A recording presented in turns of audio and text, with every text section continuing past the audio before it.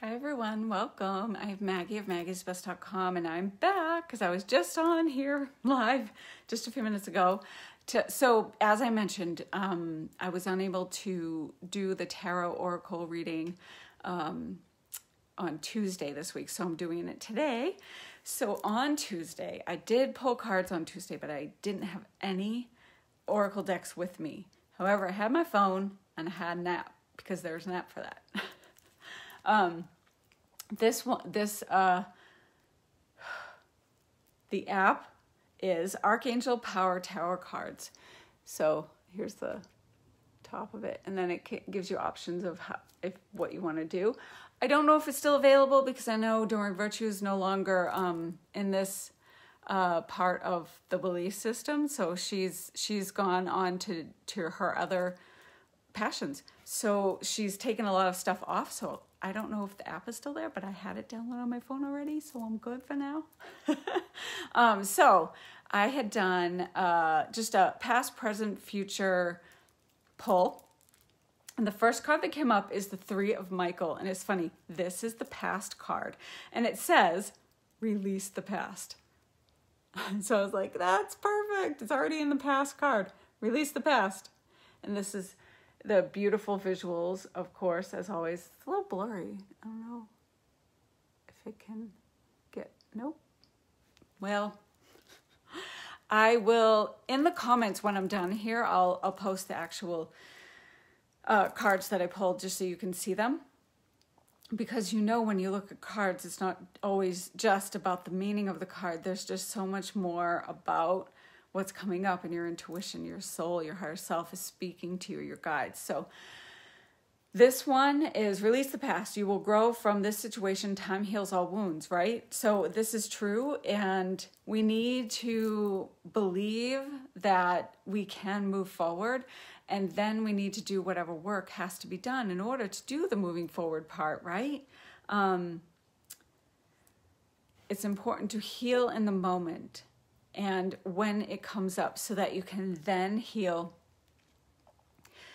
and move forward like you know upgrade yourself and not have to keep working on the and now it's a little similar to what i was just mentioning in soul coaching. When you bury your emotions you build it up it becomes shadow work that you have to do later but you can um, process it in the moment even if it means having to get alone away from certain people um, but release what no longer is helping you.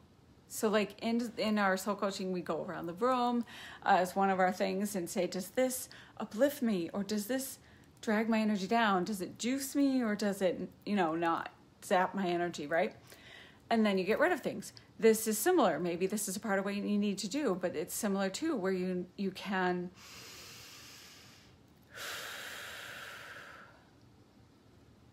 if something you're remembering is dragging your energy down, it needs to be worked on and worked through so you can re, you can release it. You become like a feather and transparent or whatever like you I just saw a vision of a feather so that's very much so angels but also it's release what no longer serves you but allow yourself to be lighter so you you've done the work. So always when I think about releasing the past, and it's about forgiveness too, forgiving yourself and other people. And then of course, Ho'oponopono comes up. I'm sorry, please forgive me. I love you, thank you. Four phrases. So do the four phrases. They're magical, they're powerful, they're simple, they're easy. And then start to energetically extract what no longer serves you anymore if releasing the past is hard for you, go into meditation and do this in a higher realm. Get into the 5D where magic and energy happens. We can't just do the thing in the 3D. We do also have to do the thing in the spiritual realm. And then sometimes it's vice versa. Some people are doing everything in spiritual realm, but then they're not doing the physical action. So if you're too much in the what do we need to do and things, then get into meditation. Find and when you do that, you're connecting to source and you're able to be in that place of peace and wisdom. And you know when you're there everything is okay. But then you can also work on something. Bring the person's higher self their guides your guides your higher self to the room the situation if it's a person or a situation and then say uh, what you need to say. What do you need to so that you can move on from whatever the situation is from the past? And then um, maybe you hear something from their higher self but then you say okay all the guides and higher selves that i called in you stay here i'm going to go jump out of meditation you stay here until this is resolved right and you thank them and you're filled with gratitude you're peaceful when you wake up magic really happens when you do those kinds of things so give it a shot the next card i pulled is uh, actually, let me go back to Archangel Michael. Three of Michael. That was three. three is a magical number. Reminds me of Jesus because he is said to resonate at 333. Uh, that higher, higher frequency and vibration. 333 is one of the major synchronicities in my life. 15 uh, is the next card, reduces to six, which in numerology is um, love and duality. It's extra duality. It's two sides of the coin. The this is the present card, and this is saying you have a decision to make. Archangel Jophiel. And if you can see, I don't know if it's still blurry, but let's see.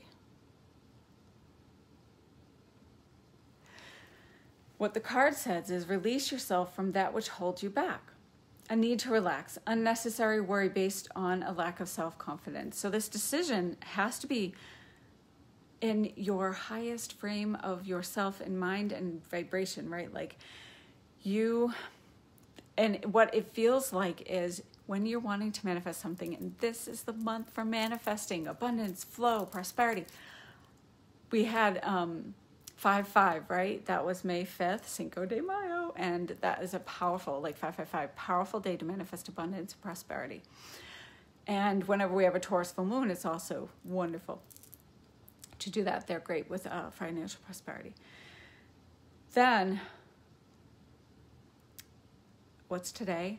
May 7th. So, in like a week or so, so May like 17th to the 23rd, we have a Pleiadian lineup. Oh, yeah, so excited. I love the Pleiadian lineups. Um, so, the Pleiadian lineup is uh, so the seven sisters, the seven stars that we see in the sky, right? Magical, powerful, so good this lineup is with the sun and the earth and the Pleiades. And that lineup gives you an extra connection to extra assistance and help and a check in with the Pleiades, right? The Pleiadians. It's a powerful time. We have it twice a year, and it always happens right after the portals of the year, which I love and I think is synchronistic too. Um, we had our portal, Beltane, this month.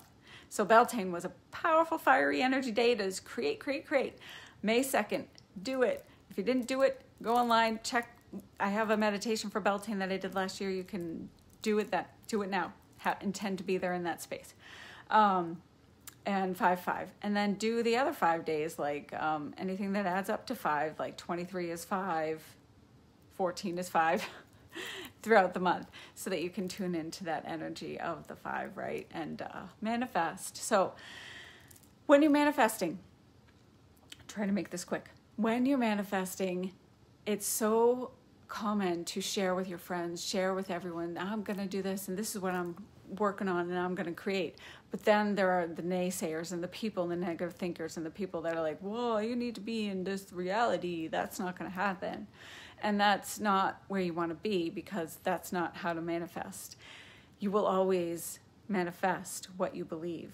And if you're believing this person or if they have any influence over you about this, it's like don't share it with those types of people because you want the energy of those who are willing to support you, want to see you happy, and want you to be uplifted.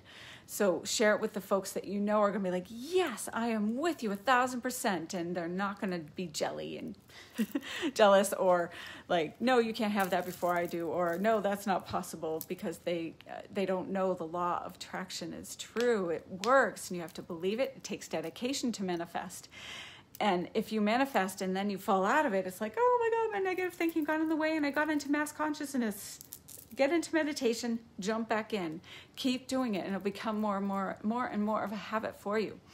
Um, so, release the past, Archangel Michael. Make the decision to create, make the decision to not tell people who are going to be negative about your situation. And if that's if you feel like you just don't know, just don't do it. Just use yourself, you have your guides. That was the other thing in the first one, but it's also in this one. You have angels and guides and higher beings that are here and they're here to support you. And all you have to do is ask, and they're guiding you anyway. But when you ask, it becomes even more, more of a powerful guidance, and you're listening more. They're like, oh, she's listening. She just asked. I'm going to really do the thing. But they're here to help you.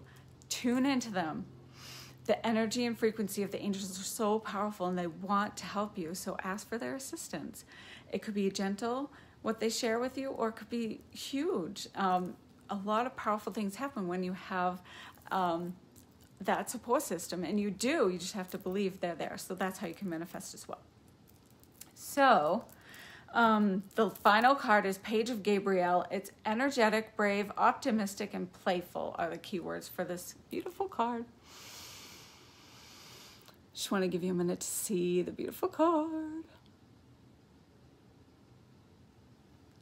So for me, okay, I'll read the, the thing on the bottom if you couldn't read it. Follow your passion. You are ready for any challenge, opportunities for excitement and adventure. That's your future card. That's a good one. It's not always going to come up roses like that. Rainbows and unicorns are real in my life. Uh, but you as long and and here's when it let's just say little caveat right? When you get a reading it's your decision to just to make. It's your choice to make. What happens in that very moment in that reading is what's laid out before you.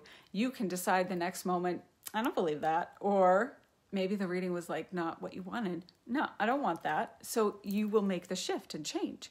Just um so you made the decision, right?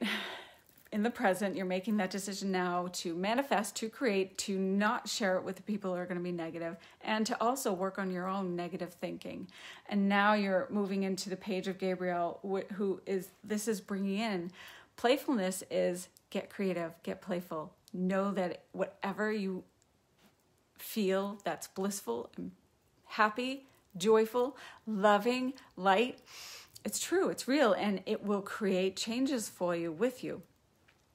It's what you're meant to do and be and experience. Follow your bliss is your spiritual compass, as I always say, right? My little tagline. So the energy is here. We're heading into summer next month, and the energy is here. Summer says take action.